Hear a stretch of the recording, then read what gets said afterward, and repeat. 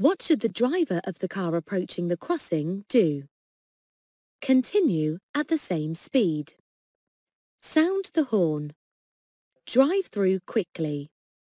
Slow down and get ready to stop.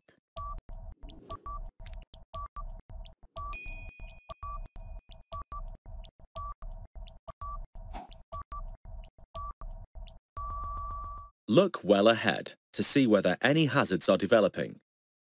This will give you more time to deal with them in the correct way. The man in the picture is clearly intending to cross the road. You should be travelling at a speed that allows you to check your mirror, slow down, and stop in good time. You shouldn't have to brake harshly. What does tailgating mean? using the rear door of a hatchback car, reversing into a parking space, following another vehicle too closely, driving with rear fog lights on.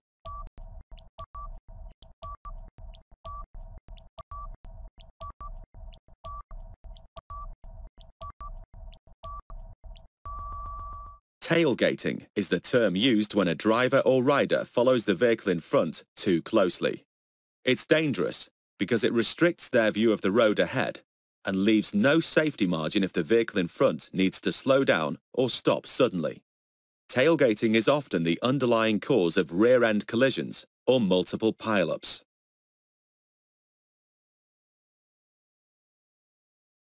What should you do when following a car driven by an elderly driver?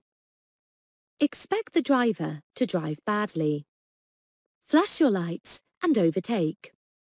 Be aware that their reactions may be slower than yours. Stay very close behind, but be careful.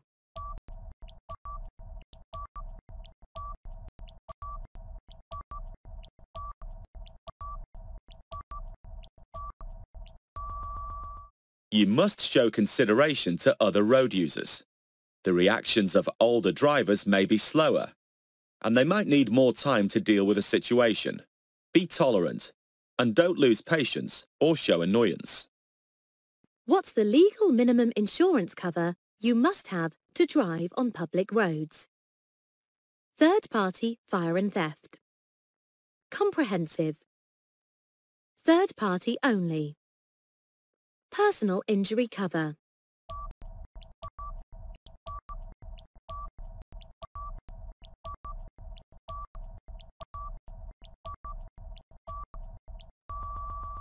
The minimum insurance required by law is third-party cover. This covers your liability to others involved in a collision, but not damage to your vehicle. Basic third-party insurance also won't cover theft or fire damage. Ask your insurance company for advice on the best cover for you, and make sure that you read the policy carefully. What should you do when parking your vehicle facing downhill? Turn the steering wheel towards the curb. Park close to the bumper of another car. Park with two wheels on the curb. Turn the steering wheel away from the curb.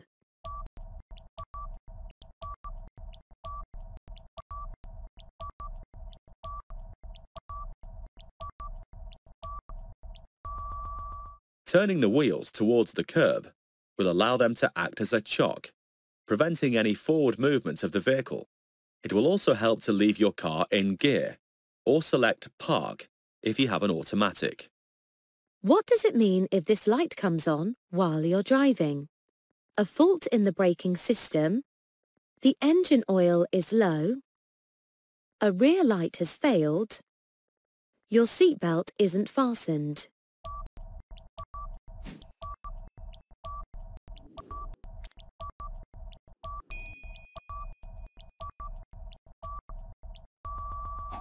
If this light comes on, you should have the brake system checked immediately. A faulty braking system could have dangerous consequences. What does this sign mean? Bus is turning. Ring road. Mini roundabout. Keep right.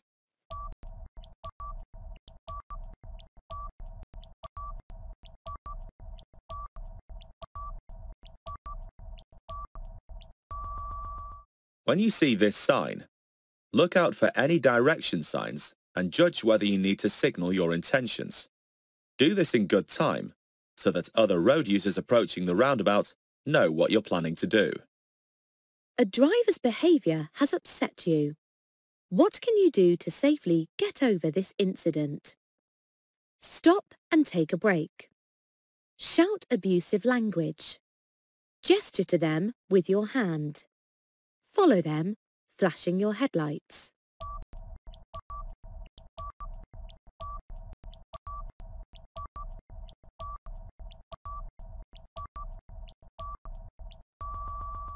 If you feel yourself becoming tense or upset, stop in a safe place and take a break. Tiredness can make things worse and may cause a different reaction to upsetting situations. Ahead of you, traffic in the left-hand lane is slowing. What should you do? Slow down, keeping a safe separation distance. Accelerate past the vehicles in the left-hand lane. Pull up on the left-hand verge. Move across and continue in the right-hand lane.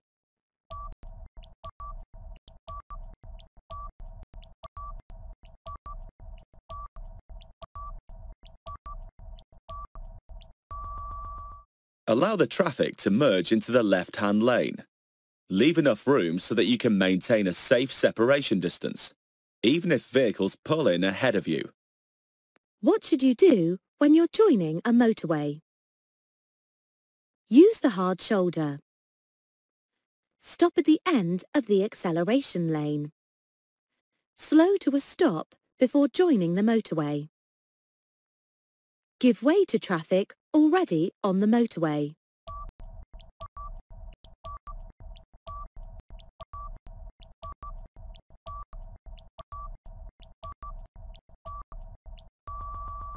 You should give way to traffic already on the motorway. Where possible, traffic may move over to let you in, but don't force your way into the traffic stream.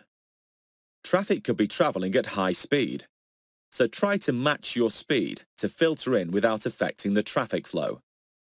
What's a rumble device designed to do? Give directions. Prevent cattle escaping. Alert you to low tyre pressure. Alert you to a hazard.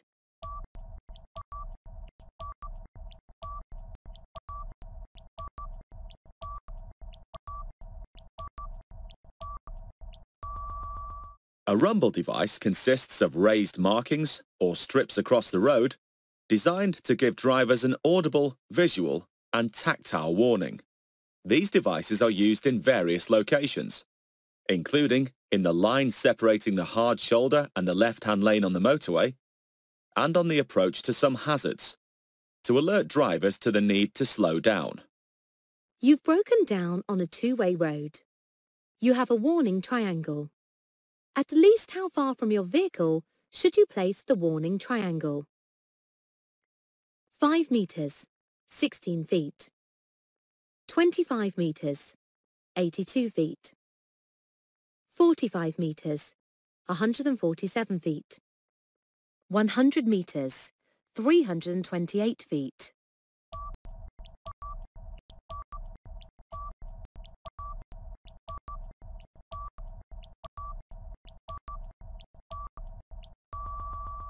Advanced warning triangles fold flat and don't take up much room. Use one to warn other road users if your vehicle has broken down or if there has been an incident. Place it at least 45 metres, 147 feet, behind your vehicle or the incident, on the same side of the road or verge. Place it further back if the scene is hidden by, for example, a bend, hill, or dip in the road. Don't use warning triangles on motorways. What does driving a vehicle with anti-lock brakes allow you to do? Brake harder because it's impossible to skid. Drive at higher speeds. Steer and brake harshly at the same time. Pay less attention to the road ahead.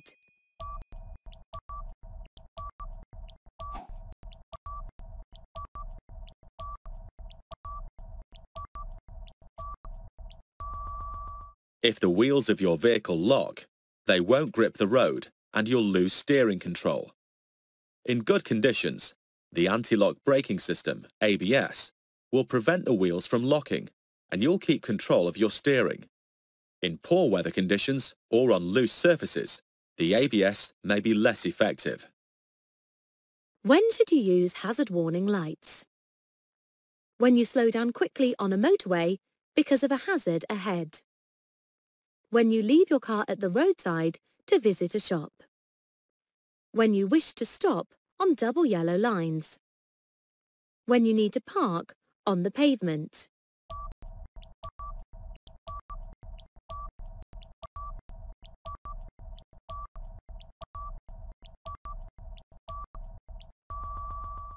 Hazard warning lights are fitted to all modern cars and some motorcycles.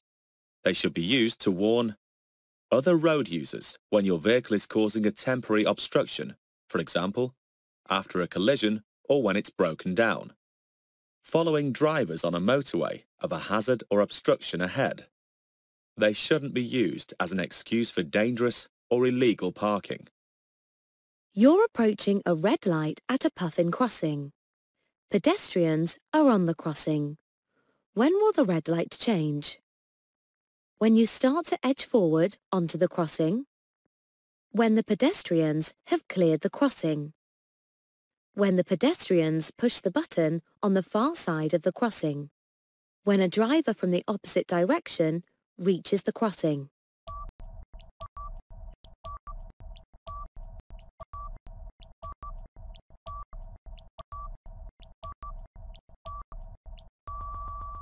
A sensor will automatically detect that the pedestrians have reached a safe position.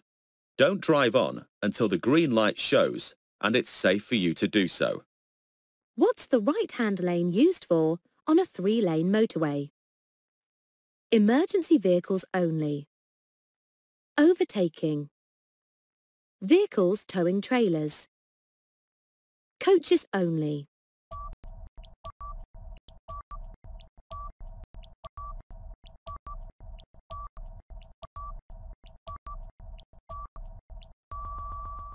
You should keep to the left and only use the right-hand lane if you're passing slower moving traffic. Over what distance are you allowed to reverse? No further than is necessary. No more than a car's length. As far as it takes to reverse around a corner. The length of a residential street.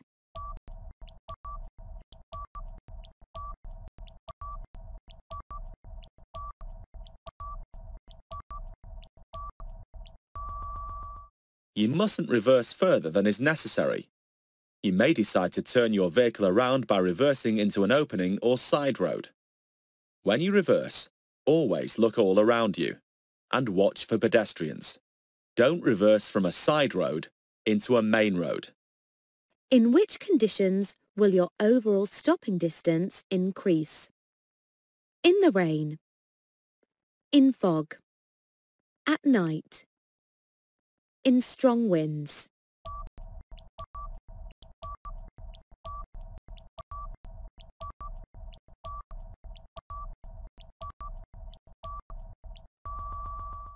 Extra care should be taken in wet weather. On wet roads, your stopping distance could be double that in dry conditions. How would age affect an elderly person's driving ability? They won't be able to obtain car insurance. They'll need glasses to read road signs. They'll take longer to react to hazards. They won't signal at junctions.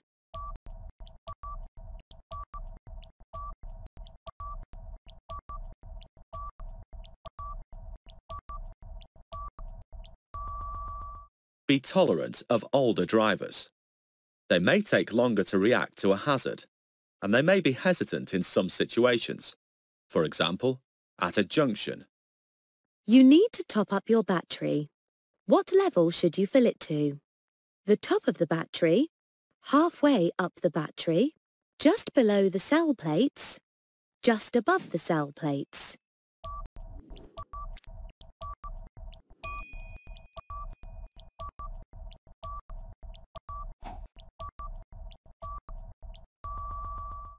Top up the battery with distilled water and make sure each cell plate is covered. What should you do before making a U-turn? Give an arm signal as well as using your indicators. Check road markings to see that U-turns are permitted. Look over your shoulder for a final check. Select a higher gear than normal.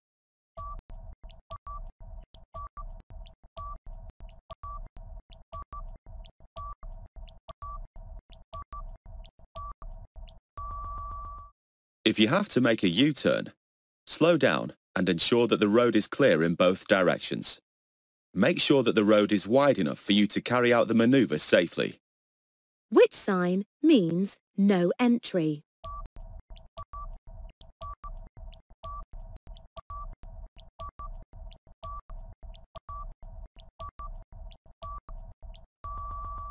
Look for and obey traffic signs.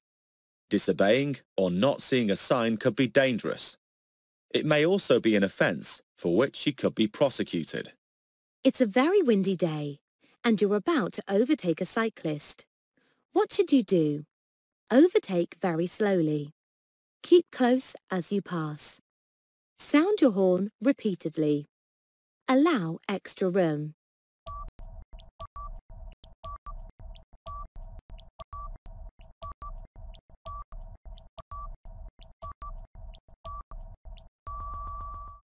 Cyclists and motorcyclists are very vulnerable in high winds.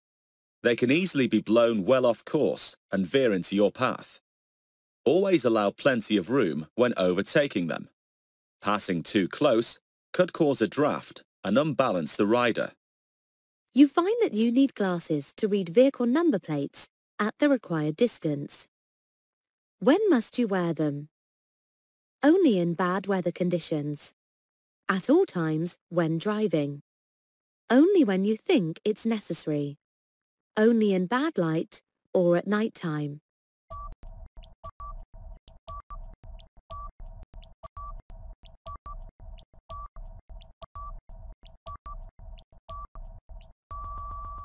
Have your eyesight tested before you start your practical training. Then, throughout your driving life, have checks periodically as your vision may change. On which occasion should you inflate your tyres to more than their normal pressure? When the roads are slippery. When the vehicle is fitted with anti-lock brakes. When the tyre tread is worn below 2 millimetres. When carrying a heavy load.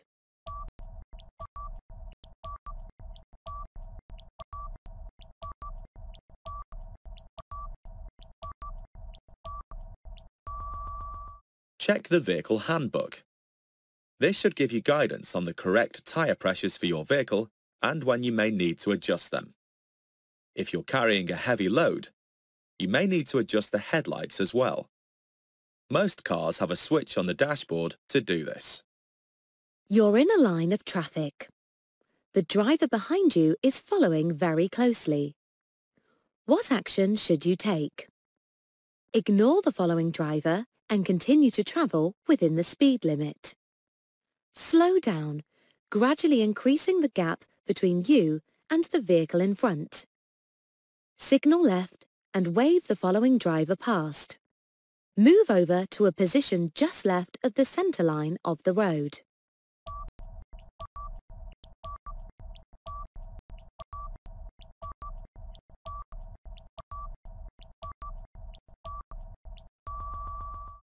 If the driver behind is following too closely, there's a danger they'll collide with the back of your vehicle if you stop suddenly. You can reduce this risk by slowing down and increasing the safety margin in front of you. This reduces the chance that you'll have to stop suddenly and allows you to spread your braking over a greater distance. This is an example of defensive driving. What's the shortest overall stopping distance on a dry road at 60 miles per hour, 53 meters, 175 feet, 58 meters, 190 feet, 73 meters, 240 feet, 96 meters, 315 feet.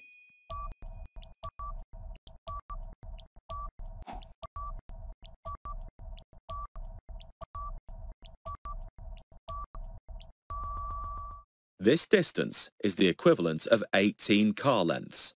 Try pacing out 73 metres and then look back. It's probably further than you think. What should you do when passing sheep on a road? Briefly sound your horn. Go very slowly. Pass quickly but quietly. Herd them to the side of the road.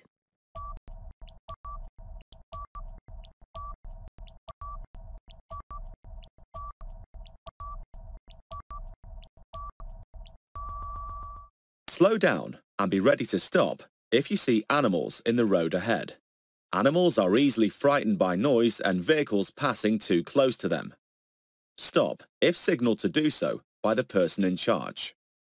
Which sign means no motor vehicles are allowed?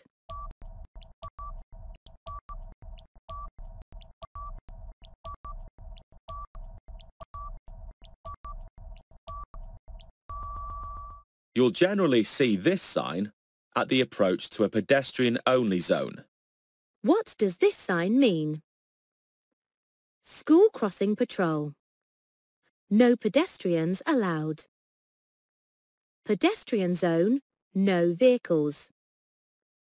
Zebra crossing ahead.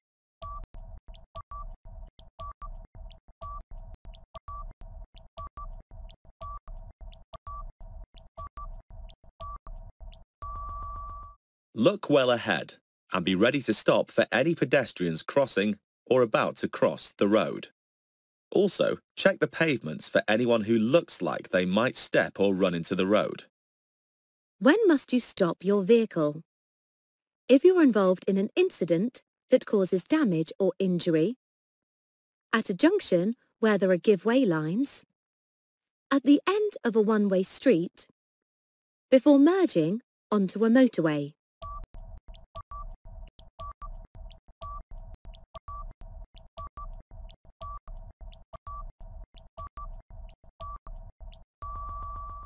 You must stop your vehicle when signalled to do so by a police or traffic officer, traffic warden, school crossing patrol, red traffic light. You must also stop if you're involved in an incident which causes damage or injury to any other person, vehicle, animal or property. A casualty isn't breathing normally and needs CPR. At what rate should you press down and release on the centre of their chest? 10 times per minute, 120 times per minute, 60 times per minute, 240 times per minute.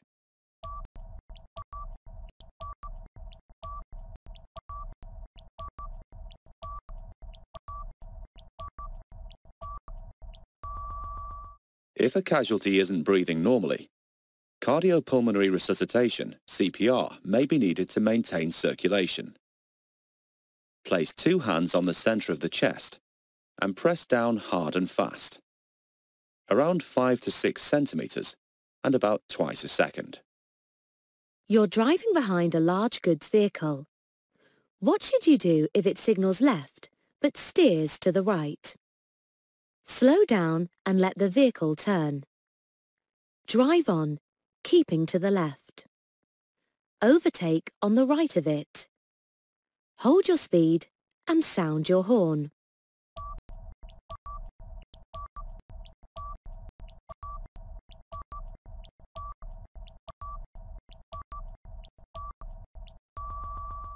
Large, long vehicles need extra room when making turns at junctions. They may move out to the right in order to make a left turn. Keep well back and don't attempt to pass them on their left. During periods of illness, your ability to drive may be impaired. What must you do? See your doctor each time before you drive. Take smaller doses of any medicines. Make sure you're medically fit to drive. Take all your medicines with you when you drive.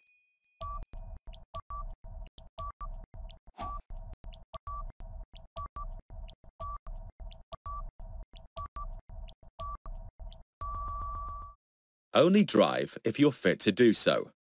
Driving when you're ill or taking some medicines can affect your concentration and judgment. It may also cause you to become drowsy or even fall asleep. What's the meaning of this sign? Local speed limit applies.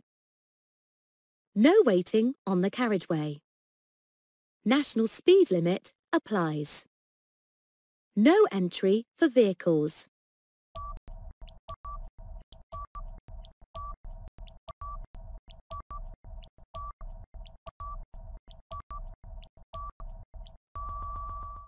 This sign doesn't tell you the speed limit in figures. You should know the speed limit for the type of road that you're on and the type of vehicle that you're driving. Study your copy of the Highway Code. What's the national speed limit on motorways for cars and motorcycles? 30 miles per hour. 50 miles per hour. 60 miles per hour. 70 miles per hour.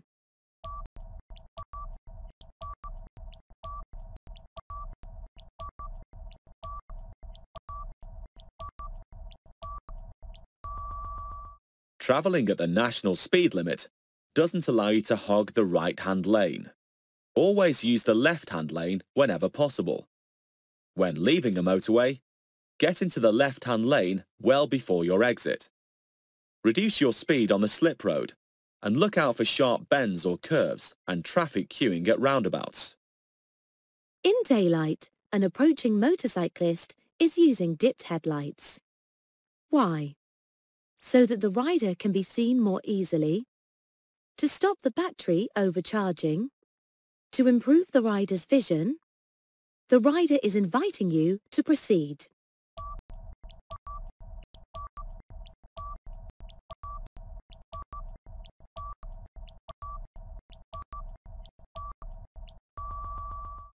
A motorcycle can be lost from sight behind another vehicle. The use of the headlights helps to make it more conspicuous and therefore more easily seen. How should you use the emergency telephone on a motorway? Stay close to the carriageway. Face the oncoming traffic. Keep your back to the traffic. Stand on the hard shoulder.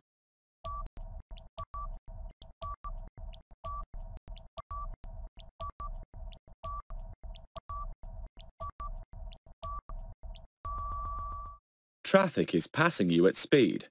If the draft from a large lorry catches you by surprise, it could blow you off balance and even onto the carriageway. By facing the oncoming traffic, you can see approaching lorries and so be prepared for their draft. You'll also be in position to see other hazards approaching. What will be the result of having your vehicle properly serviced? Reduced insurance premiums, lower vehicle tax, better fuel economy, slower journey times.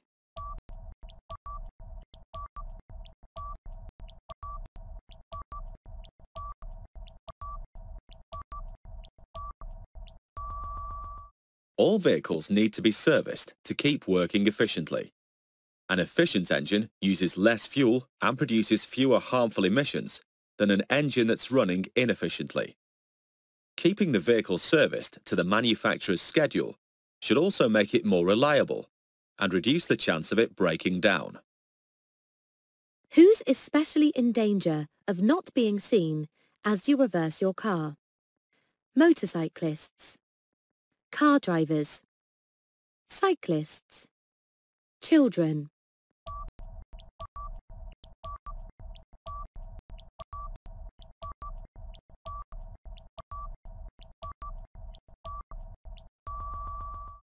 It may not be possible to see a small child through the rear windscreen of your vehicle. Be aware of this before you reverse. If there are children about, get out and check that it's clear before reversing. The left-hand pavement is closed due to street repairs. What should you do? Watch out for pedestrians walking in the road. Use your right-hand mirror more often. Speed up to get past the roadworks more quickly.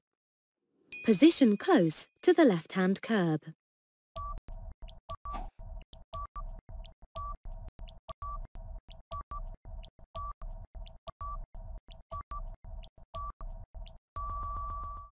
Where street repairs have closed off pavements, proceed carefully and slowly, as pedestrians might have to walk in the road. What does this sign mean? Two-way traffic crosses a one-way road. Traffic approaching you has priority. Two-way traffic straight ahead. Motorway contraflow system ahead.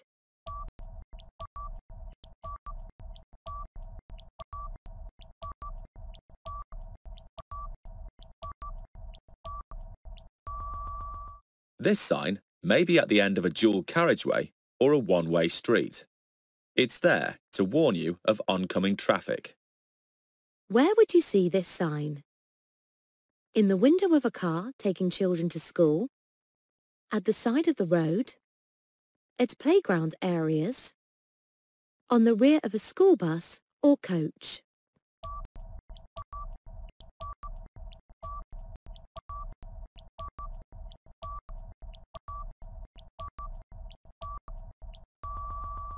Vehicles that are used to carry children to and from school will be travelling at busy times of the day. If you're following a vehicle with this sign, be prepared for it to make frequent stops. It might pick up or set down passengers in places other than normal bus stops. Which of these signs means turn left ahead?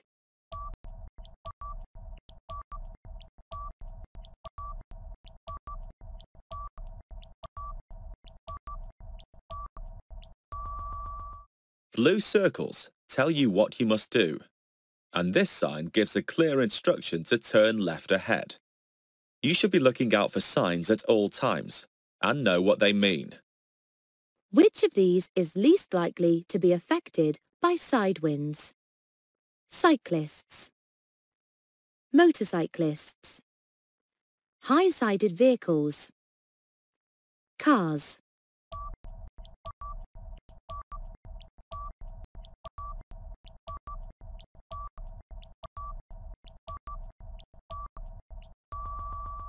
Although cars are the least likely to be affected, side winds can take anyone by surprise. This is most likely to happen after overtaking a large vehicle, when passing gaps between hedges or buildings, and on exposed sections of road. You're following a large vehicle. Why should you stay a safe distance behind it? You'll be able to corner more quickly. You'll help the large vehicle to stop more easily You'll allow the driver to see you in their mirrors. You'll keep out of the wind better.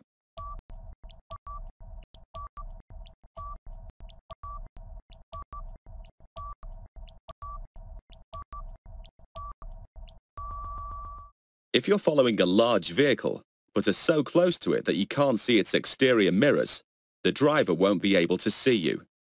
Keeping well back will also allow you to see the road ahead by looking past on either side of the large vehicle.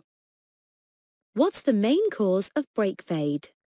The brakes overheating, air in the brake fluid, oil on the brakes, the brakes out of adjustment.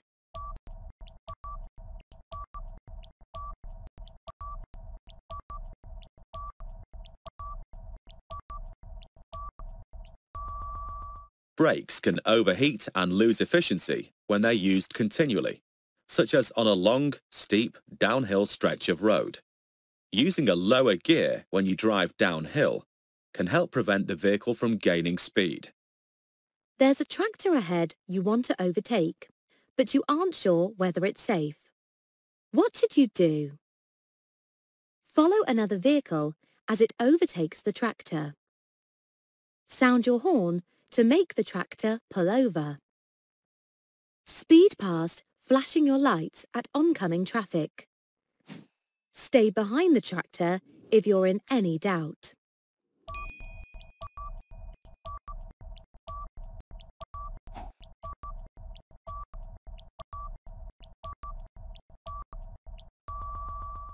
Following a tractor can be frustrating, but never overtake if you're unsure whether it's safe. Ask yourself, can I see far enough down the road to ensure that I can complete the manoeuvre safely? It's better to be delayed for a minute or two than to take a chance that may cause a collision. You're checking your trailer tyres. What's the legal minimum tread depth over the central three quarters of its breadth? 1 millimetre, 1.6 millimetres, 2 millimetres, 2.6 millimetres.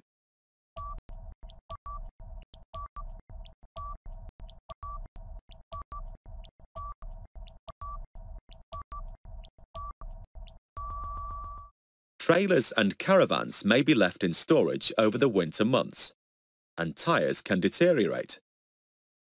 It's important to check their tread depth and also their pressures and general condition. The legal tread depth of 1.6 millimeters applies to the central three quarters of a tyre's breadth over its entire circumference. When must you use dipped headlights during the day? All the time. On narrow streets. In poor visibility. When parking.